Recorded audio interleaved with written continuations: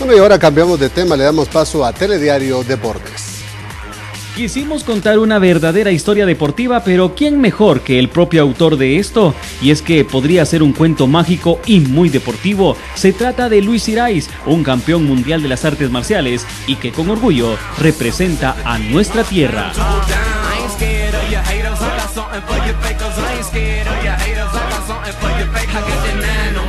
Soy un competidor guatemalteco de artes marciales mixtas y de jiu-jitsu brasileño, de grappling.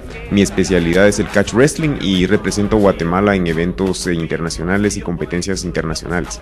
El último logro que obtuvimos fue mm, el US Open, que se ganó este fin de semana, no, hace dos fines de semana eh, donde tuve la, oportunidad de competir en la categoría de expertos, que es la categoría donde siempre eh, compito, y mm, habían tres, eh, me tocó tres veces pelear contra representantes de Estados Unidos, y como era un US Open, es abierto, pero básicamente los estadounidenses son los que más ocupan las, las plazas de competidores.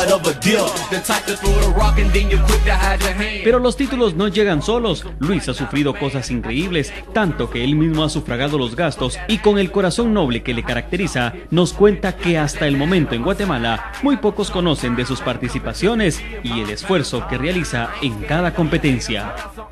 Definitivamente, ahorita que, vimos eh, nuestros atletas ganando en, en Toronto eh, los Juegos Panamericanos, que precisamente yo estaba en Toronto cuando ellos estaban este, ahorita saliendo de esto, estaba yo ahí, me llenó de alegría ver cómo cómo este, los guatemaltecos, em, el de gimnasia eh, artística, cómo era tan pequeñito comparado con los otros tan grandes. Lo que yo pienso es de que el guatemalteco tiene todo lo necesario para estar en el podio de cualquier evento olímpico, de cualquier evento de, de cualquier disciplina. Tenemos todo lo necesario que está acá y lo demás eh, se va a conseguir de alguna forma. Lo único que tenemos que tener es determinación de hacer las cosas, no mirar atrás y solamente empujar para adelante y vamos a llegar a alcanzar cualquier meta para Guatemala.